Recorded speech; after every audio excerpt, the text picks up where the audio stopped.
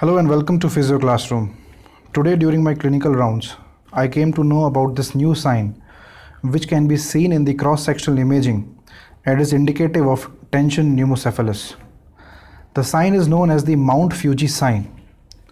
I went and checked up the YouTube and I couldn't find any video giving information regarding this sign.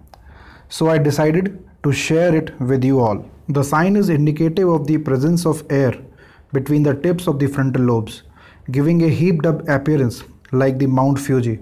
Presence of this sign suggests that the pressure of air is at least greater than that of the surface tension of the CSF between the frontal lobes. Presence of sign is often an indication of an immediate surgical intervention to prevent permanent neurological damage.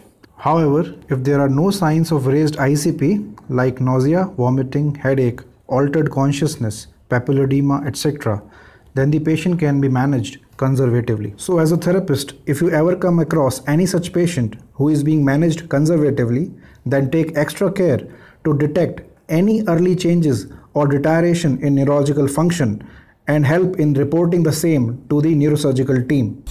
So, keep learning, keep sharing, and stay connected.